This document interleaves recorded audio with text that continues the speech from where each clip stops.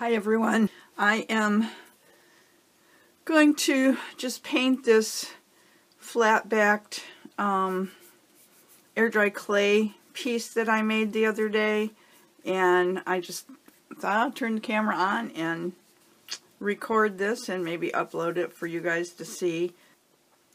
I did, I thought about putting the mask on this one so I have the holes in here and that's why I didn't finish the eyes. But um, in the class that I took with Jean Marie Webb, she showed how she paints her clay pieces and it's lots and lots and lots of layers of acrylic paint. So that's kind of the method that I'm going to follow today. And we just start by adding some really dark paint. This is Payne's Gray Liquitex Basics Payne's Gray. It's kind of a heavy body acrylic and I'm just going to get that down in the creases where the darkest parts would be. And of course with the mask I may put it on so that it can be removed and I might just paint some eyes um, you know, on the clay piece so that when the mask is taken off, the eyes are there because right now it looks kind of creepy with no eyes. Just indents for eyes.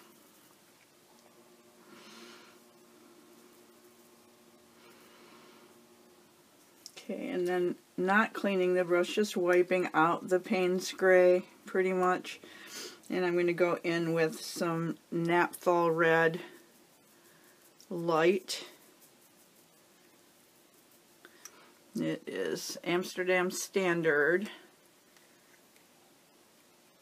Yep, Naphthol Red Light. And it's really kind of more of an orange, a light orange color as opposed to a red, but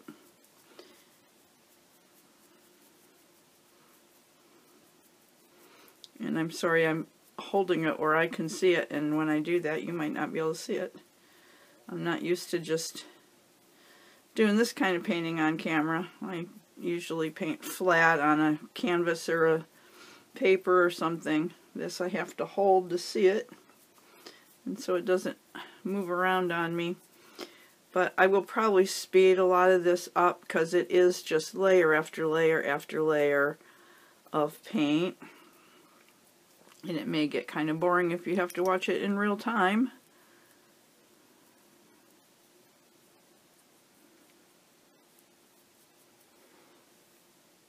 See how it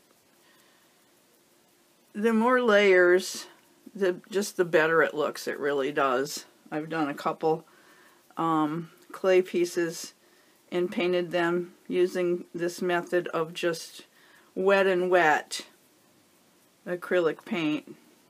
And it really I mean you you go from light to dark and dark to light and back and forth and back and forth and um, you know, several times, but in the end, it just has a just a special quality. It's not flat looking like it would be if I just put one layer of paint on it per, you know, per color.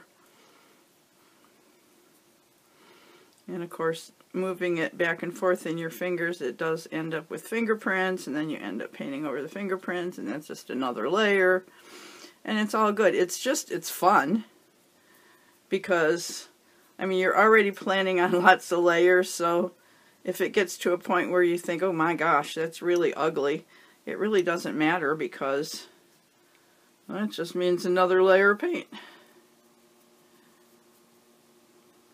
And with each layer, it looks different, and sometimes it looks better and sometimes it doesn't.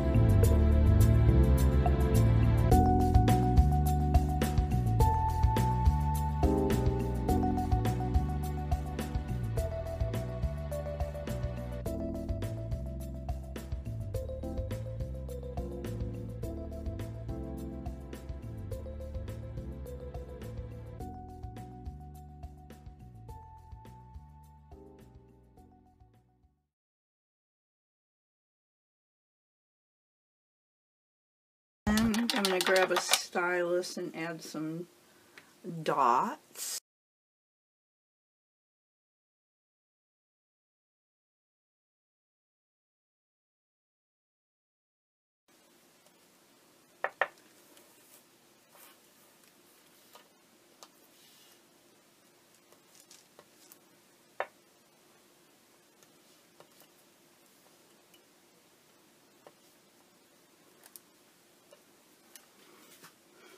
Those are going to take a little while to dry. I think when it's dry, I might add some gold wax to the nose, maybe. For some reason, I just want gold on it. I might use this, or maybe, maybe this Firebird wax. I'm going to let those green dots dry though because those are going to be real easy to mess up.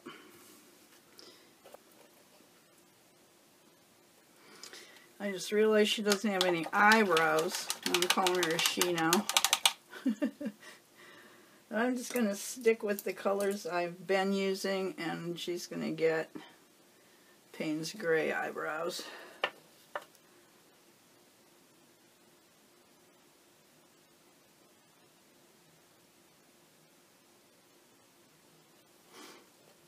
Just going to take a break and let everybody dry a little bit and then I'll be back and maybe finish it.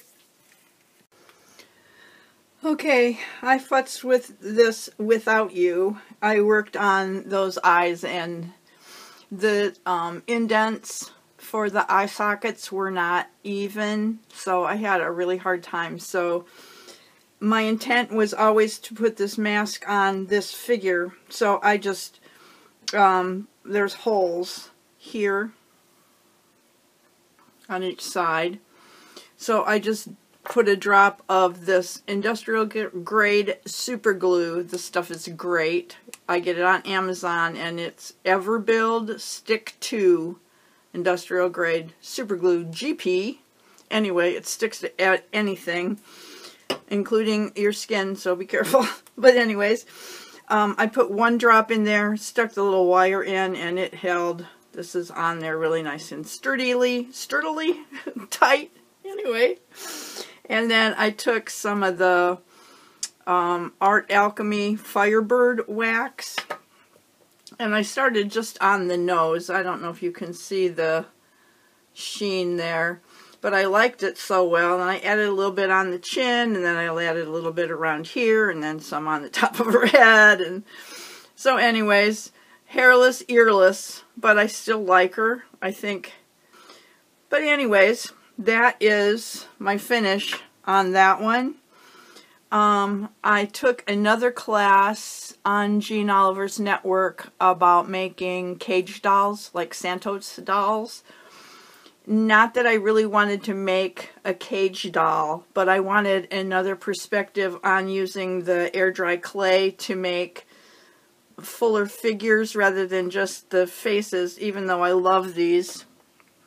if you saw these other ones that I did before. So I have three of these now. Let's get them on a clean part of the paper. Um, but I really like this one. I, I like the way it turned out. It's a little more bright than these two are. And yeah, I really like it. It was fun. The, the clay is fun. If you have tried um, or thought about trying paper clay, do it. It's inexpensive. The clay is not expensive. You can buy, you know, a small package for a few dollars. And I will continue to share what I'm learning and doing as we go along and as I understand and get a little bit better at this. Um, but, you know, all the props for these, go to Jean Marie Webb, check out her website, and if you click on workshops, you'll find all the different workshops that she's offering for learning to do these clay faces. So, I hope you enjoyed watching this one. I will, like I say, I'll continue to share as I learn. And if you haven't subscribed to my channel, I'd appreciate it if you do that, if you like what you see. and ring my bell so you can be notified when I upload new videos. And in the meantime, you go make some art. Bye!